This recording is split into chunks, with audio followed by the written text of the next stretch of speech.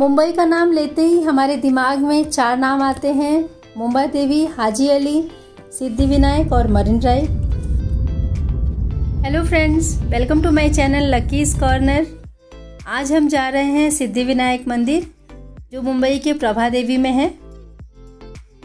तो चलिए आप सब मेरे साथ में कीजिए सिद्धि विनायक के दर्शन।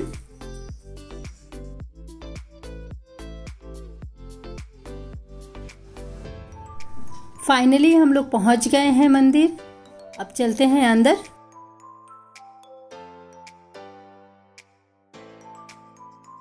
मंदिर के अंदर फूल और प्रसाद की बहुत सारी दुकानें हैं, जिसमें से आप ले लेके बप्पा को चढ़ा सकते हैं।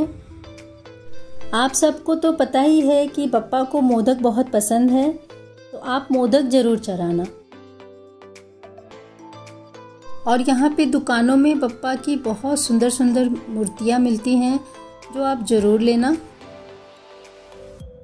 गणपति बप्पा के अनेक रूप हैं और उनमें से सबसे लोकप्रिय रूप है सिद्धि विनायक का, जो भी यहाँ आता है खाली हाथ नहीं जाता। यहाँ पे सबकी मनोकामनाएँ पूरी होती हैं और यहाँ पे बहुत भीड़ होती है। खासकर मंगलवार और रविवार को तो बहुत भीड़ होता है। आज तो भीड़ कम है लकीली आप भी यहाँ आना और आप भी मन्नत मांगना और वो ज़रूर पूरी होगी। क्योंकि कहा जाता है कि पप्पा बहुत जल्दी प्रसन्न हो जाते हैं। भगवान गणेश का हिंदू धर्म में बहुत महत्व है।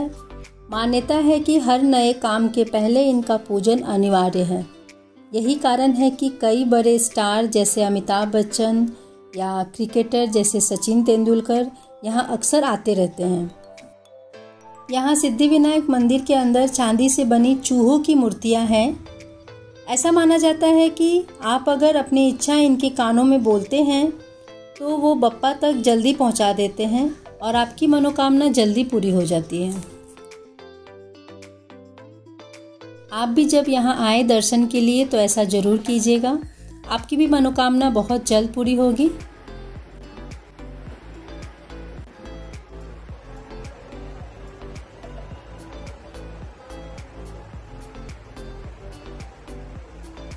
तो चलिए फ्रेंड्स मैं करती हूँ अपने ब्लॉग का एंड आप सबके लिए bye and take care Ganpati Bappa, Morya.